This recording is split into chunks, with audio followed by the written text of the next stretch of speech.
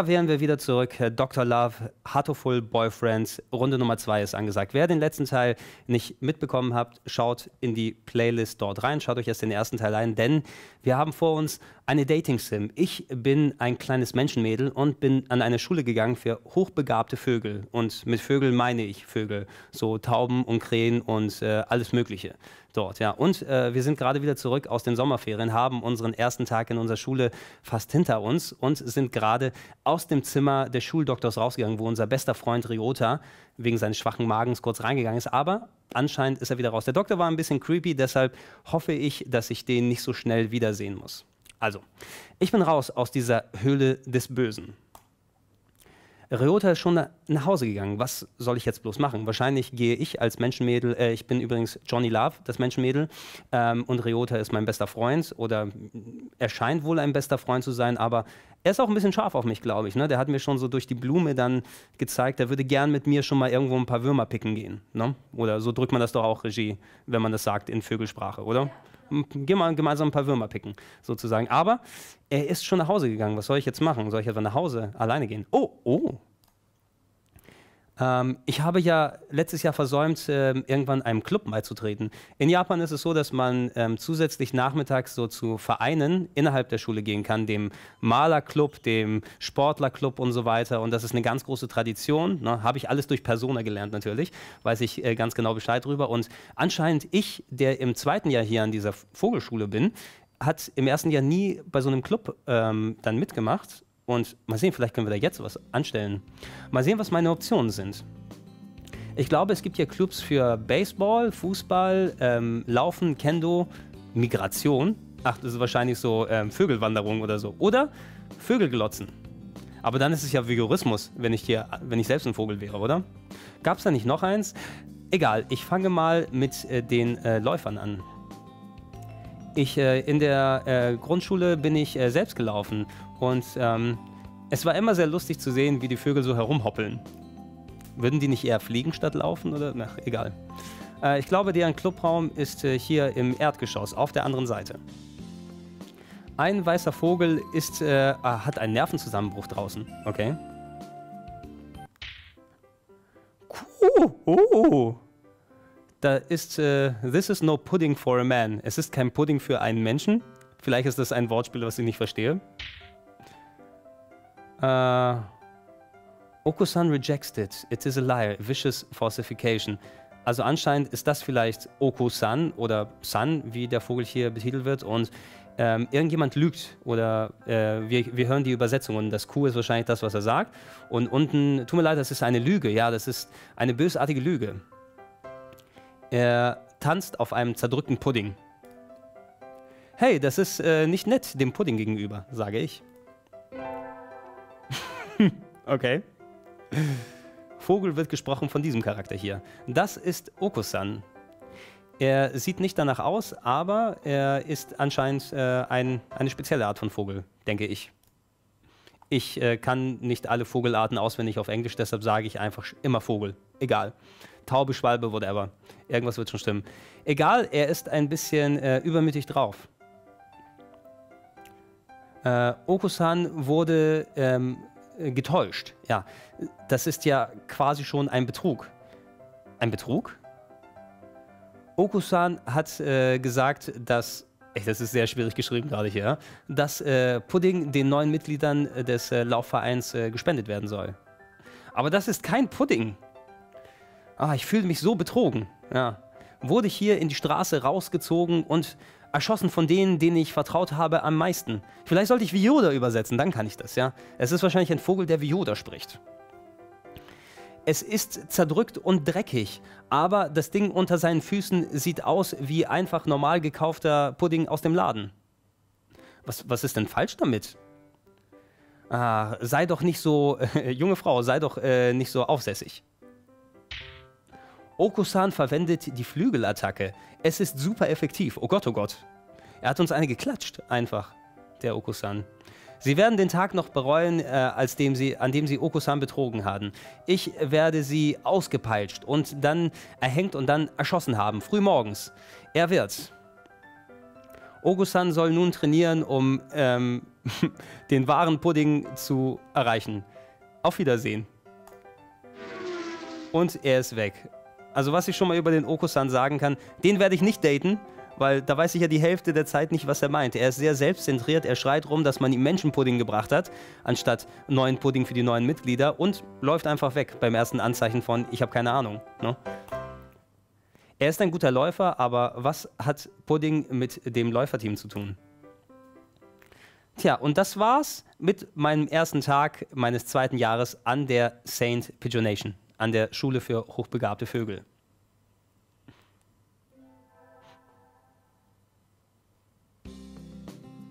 Oh, und das war wohl schon das Wochenende, das war ja der 8. April, jetzt sind wir am 11. Und da ist äh, der Lehrer Kazuaki. Ähm, ich glaube, wir wollen heute die Schulsprecher auswählen. Oh, oh, oh. Wie du schon weißt, äh, ähm, verlangt diese Schule nicht, dass du irgendeinem Club beitrittst. Aber äh, wenn du willst, kannst du es natürlich. Aber wenn nicht, kannst du auch gerne nach Hause gehen nach der Schule. Speziell in Japan ist es wichtig, dass man diesen Clubs auch beitritt, weil es so eine soziale Komponente ist, die man sonst verpasst. Wenn alle dann gemeinsam in den Clubs abhängen und Zeug anstellen, was soll man alleine zu Hause anstellen? Deshalb ist es, glaube ich, besser, wenn man ein bisschen Interspezies-Interaktion ähm, haben will zwischen Mensch und Vogel. Oh nein, nicht schon wieder Okusan. Okusan hat nur Zeit für das Läuferteam. Äh, das ist gut. Was ist mit dir, Shirogane? Auch Shirogane war diese hoch, dieser hochnäsige Vogel, ne? Eine höchst ähm, ähm, sehr anmaßende Frage. Ich habe schon eine gewisse Stellung hier. Ach ja, das stimmt. Ja, du wurdest ja der ähm, Präsident der Studenten hier, als du eingeschult wurdest. Aha, das ging aber schnell. Ha, äh, Nepotism, hier, Vetternwirtschaft. Wir kriegen nicht mal eine Chance hier dafür zu wählen, ne? Oh, und da ist Ryota, unser guter Freund, dem es schlecht ging äh, vor ein paar Tagen. Mensch, mir reicht es schon, wenn man zur Schule kommt. Ich habe keinen Bock auf einen. Ja. Oh, und ich sage natürlich zu ihm, er muss sich ja auch um seine Mutter alleine kümmern. Also da kann er sich ja nicht einfach die Zeit selber davon stehlen und in der Schule irgendwelche Kunst oder so machen. Das geht ja gar nicht. Hm, ich wundere, ich wundere mich, was ich denn so tun soll. Okay, und wenn ihr es vielleicht mitgezählt habt, wir sind im zweiten Teil angelangt. Das ist jetzt die erste Gameplay-Entscheidung, die wir treffen können im Spiel. Oh, ich bin aufgeregt. Ich bin aufgeregt. Welchen Club sollen wir denn beitreten? Also, soll ich ähm, der Studentenschaft beitreten, ja, dem Studentenrat? Soll ich dem Läuferteam beitreten oder soll ich äh, dem äh, Büchereiteam sozusagen beitreten, der sich dann um die ausgeliehenen Bücher oder so kümmert? Lass mich mal nachdenken. Ähm, wenn ich zur Bücherei gehe, da hatten wir beim letzten Mal eine sehr schüchterne Taube getroffen, einen Frischling, ja, der nur in seine Bücher geguckt hat und uns halbwegs so ein bisschen so mit dem Auge angeguckt hat, aber muss ja auch sehen, so vielleicht ähm, steht ja Johnny Love, unser Mädel, dort auch den schüchternen Typ. Ähm, wenn ich hier der Studentenschaft beitrete, dann haben wir natürlich unseren sehr hochnäsigen Vogel hier. Ne? Und wenn ich dem Läuferteam beitrete, da haben wir Okusan, der eh ein bisschen wirr in seinem Vogelkopf ist. Ganz ehrlich, ich glaube, ich will mal eine Herausforderung haben und gehe in die Studentenschaft hier mit rein, ja, in den Schülerrat und ähm, vielleicht können wir ja das kalte, kalte Vogelherz dieses hochnäsigen, hochadligen Vogels so weich machen, dass es eine Romanze wird, an die wir uns alle erinnern werden. Also solange wir dieses Video gesehen haben und nicht vergessen haben. Also. So, jetzt haben wir alle, äh, die was wählen wollten, die haben gewählt, ja? Habt Spaß, sagte Lehrer. Oh, ich bin sehr gespannt. Obwohl, vielleicht mache ich so, na, wir haben ja herausgefunden, ähm, der hochnäsige Vogel ist ja der Bruder von dem geilsten Stecher hier an der Schule. Vielleicht kann ich ja über Umwege. Ne? Man weiß ja sonst nie, wo die Liebe hinfällt und oft ist es nicht der gerade Weg. Man muss vielleicht den Umweg nehmen über eine andere Person oder einen Vogel. Aber wir werden es gleich sehen. Also, heute ist ein sehr besonderer Tag. Was soll ich tun? Oh, was Neues. Wir haben Statistiken da oben. Ja? Weisheit 1, Vitality, wahrscheinlich meine Hitpoints 800 und Charisma 5. Das kann natürlich nicht so stehen bleiben, weil ich glaube, Charisma hätte ich wesentlich mehr. Wo wollen wir jetzt hingehen? Wollen wir ähm, Mathe machen? Wollen wir Sport machen? Oder wollen wir Musik? Auch schwierig, ne? Es hängt vielleicht davon ab, dass man gewisse Statistiken dann aufbaut und dann je nachdem, wie gut man an gewissen Punkten dann ist, auch verschiedene andere Vögel angraben kann. Vielleicht steht der eine ja eher drauf, wenn man ein bisschen künstlerisch drauf ist. Ich glaube, als Menschenmädel habe ich eh schon mal einen Vorteil den ganzen anderen Tauben gegenüber, weil ich bin ja alleine da. Ne? Also dann ähm, gibt es ja bestimmt eine gewisse Attraktion. Ich würde mich aber auch eher sehen, ich bin ja mehr der musische Typ. Na? Also wenn ich mich künstlerisch ein bisschen ausdrücke, Musik. Musik ist ja auch eine Sprache und man muss ja nicht unbedingt die gleiche Menschensprache oder gleiche Taugensprache sprechen. Musik verbindet universal. Deshalb gehe ich zur Musikstunde. Wir haben Vogelmelodien gesungen. Es war ein bisschen ähm, äh, ermüdend, aber zusammen singen macht Spaß. Chirp, chirp. Johnny ist aufgelevelt. Charisma ist um 5 aufgestiegen. Habe es doch gesagt, ja? Musikantenvögel sind charismatische Vögel und musikalische Menschen auch.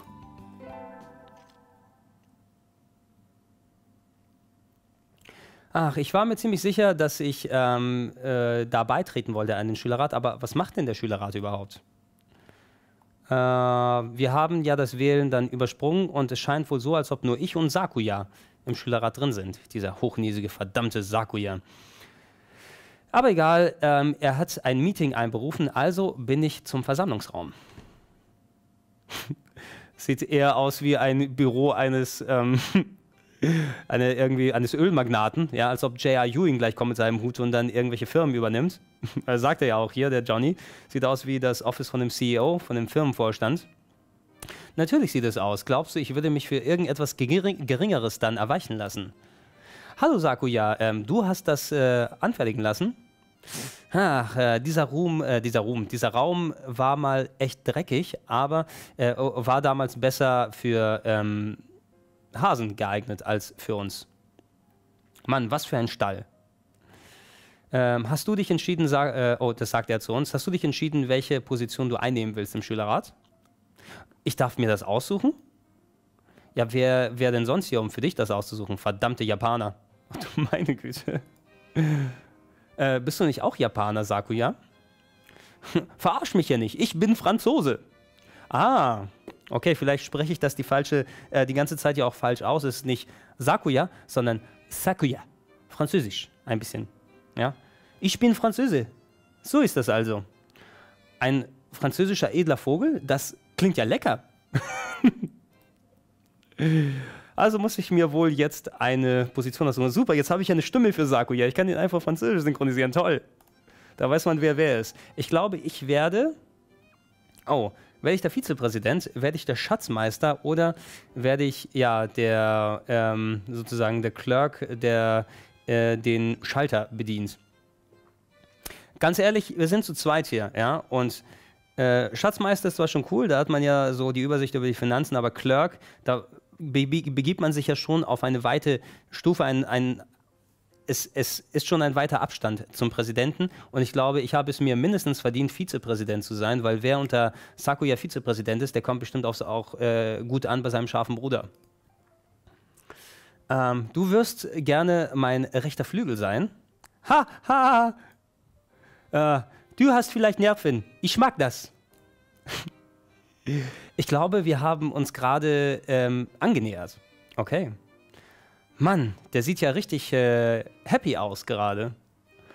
So begab es sich, dass ich der Vizepräsident des Schülerrates geworden bin. Des Schülervögelrates. Und jetzt ist es Nacht. Und ich wohne anscheinend auf dem Berg in der Höhle.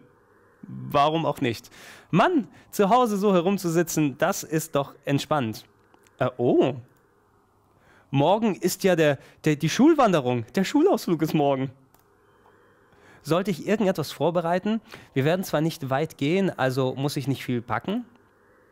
Ach, erst sollte ich mich aber um die Gesundheit kümmern. Ich glaube, ich, hab, ich äh, besorge mir gleich mal ein paar Nudeln und gehe dann schlafen. Udon ist, glaube ich, eine Nudelart dort, wenn ich mich nicht irre. Also als Vogel wohnt das Menschenmädel in der Höhle und isst Nudeln, so wie sich gehört. Heute ist der Schulausflug angesagt. Ähm, wir haben uns nahe des Hügels für eine kleine Pause hingesetzt. Mit wem sollte ich jetzt sprechen? Okay. Mal sehen. Okay, Ryota. Klar, unser bester Freund, der will auch ein bisschen was für uns, aber ganz ehrlich, ich will nicht so viel von Ryota. Auch wir haben da ja bessere Optionen. Sakuya ist ja gerade jetzt hier unser, wir sind ja ein bisschen jetzt Buddy-mäßig oder sowas drauf. Sun ist natürlich der Verrückte aus dem Track-Team und ich glaube, Kazuaki müsste der Bruder von Sakuya sein, oder? Äh, wissen wir das noch, Regie? Wahrscheinlich nicht, ja? Wer Kazuaki war, wissen wir es? Kazuaki war aus der Bibliothek, okay. Hm. Ich hätte jetzt fast gewählt, okay, dann gehe ich lieber erstmal, auf, um auf Nummer sicher zu gehen, zu Sakuya. Vielleicht komme ich darüber auf seinen Bruder. Mann, ich muss mir mal aufschreiben, wie der Bruder von Sakuya heißt. Weil den will ich, den will ich angraben. Da ist er ja. Un unakzeptabel. Mann, dieser Sakuya ist wieder total aus dem Häuschen. Warum? Warum müsse ich mitkommen zu einem Platz wie diesen und auch noch zu Fuß? Ich verstehe nicht. Es ist ein, achso, es ist ein Ausflug, Sakuya. Du musst ähm, gehen. Ja, fliegen geht ja nicht bei einem Ausflug. Obwohl, verdammt, da kommt wieder so die deutsch-englisch-Schere, ja. Ausflug könnte man ja auch wirklich nehmen bei Vögeln. Der könnte wirklich einen Ausflug machen, aber hier ist mehr ja so eine Wanderung dann angedacht. Zu welchem Zweck, ja, äh, warte mal, achso, Sakuya. Äh, zu welchem Zweck soll das etwa uns ein bisschen trainieren? Das ist doch Mumpit, Kinkerlitzchen, ja? Ja, äh, sich äh, sportlich betätigen ist für Bauern. Nein, nein, zum Spaß. Man soll doch sich daran ergötzen, wie mal die Landschaft sich ändert. Guck mal da, ja, haben wir da nicht eine schöne Aussicht? Hm. Sakuya scheint so, als ob er immer noch irgendwas sagen äh, will, aber zögern kommt er zu mir rüber. Ich glaube, er tut nur so, als ob er ähm, wirklich ähm, wütend ist. Also er ist vielleicht ein bisschen wütend, aber nicht ganz so wütend, wie er tut. Ach Mann, was, was für ein Kind. Wie kindisch.